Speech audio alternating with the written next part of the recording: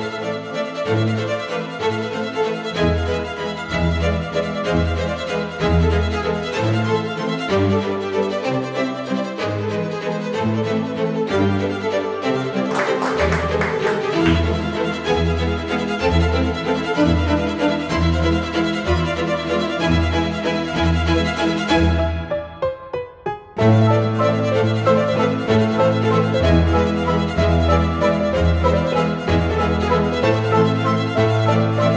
If we divide those innovations into three key pillars, they would be image quality, the robustness of the camera, the third thing would be the interface. I love this camera I use for the Fashion Week in Paris.